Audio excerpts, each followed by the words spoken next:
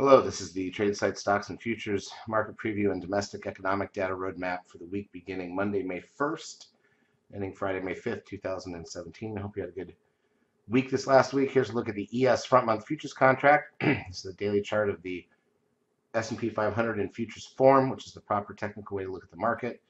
And it wasn't much of a week. Monday was the big uh, gap up and go day, or Monday and Tuesday basically. But other than that, uh, the week was fairly flat, and we still are basically stuck in the same range that we've been stuck in for a while. Let's go through the major indices, and we'll talk about the economic data coming out this week, get ourselves a plan. So here's crude oil closing at 49.17 for the week, down, sorry about that, down 15 cents. Gold up $3.40. S&P cash index down four and a half. Um, and, and by the way, when you look at the cash index, takes out more of the gap so you can see how flat Tuesday, Wednesday, Thursday was Monday, and there's two gaps, and you'll see that when we look at the intraday action. It was not a very interesting week from that perspective, even though the, the market gained, obviously. NASDAQ 100 new closing highs at 55.83.50, up 12 points. SOX loses 17. Got the uh, biotechs up 9. That's not near new highs yet. VIX up 46 cents to 1082. That's still some of the lowest volatility readings that we've seen in forever on the VIX. Horrible. Not good for trading. Trend 1.28. 10-day moving average is at 1.2. NASDAQ volume was 1.8 billion shares to close out the month and also coming off the heels of some big earnings like Amazon and Google. So that's really not huge volume when you realize those stocks were reacting to their earnings. Interestingly, advanced decline ratio on the NASDAQ negative 759, advanced decline ratio on the New York negative 662. Google up 33 points after their earnings. This was an earnings gap. New closing highs by far on Google. Apple down 14 cents. It's been here for about a month. Amazon up 6, but it was higher to start the session. Came back quite a bit.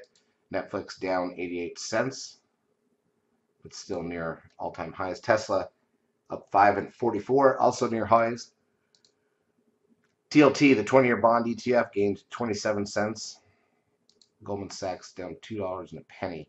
Still no 13s. Oh, there's a 13 buy signal. There's your 13 buy signal on Friday on uh, Goldman Sachs after all this. So that'll be interesting to watch. So you can see the 13 sell signal. We've been short. We shorted Goldman at 244 to start the year and covered it at 214 before options expiration here in April. And uh, and now you've got a 13 buy signal, but at a higher price. All right, let's take a look at the intra week action. This will be, uh, we'll go to 10 minute candles so you can see the whole week. And so here we go. So Monday was a big gap up and then dead flat closed, literally closed a tick off of where we opened the session on Monday. Tuesday was a gap up, pushed a little higher for about an hour, not even that, 40 minutes. That was it. We closed right there.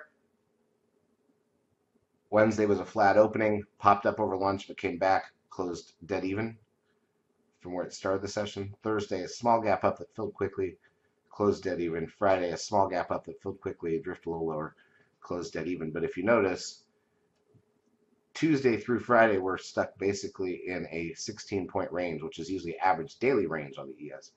Monday was very narrow after the gap. And so most of the week, the gains that you see, because we came into the week, we had closed at 22.47 the prior week, 23.47 most of the gains for the week are in the two gaps.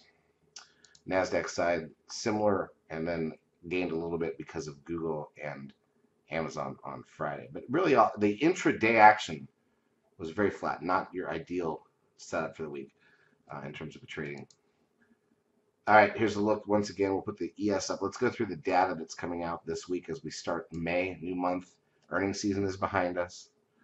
So what do we got? On Monday, um, we've got the uh, personal income and outlays at 8:30 a.m. We got PMI manufacturing index at 9:45.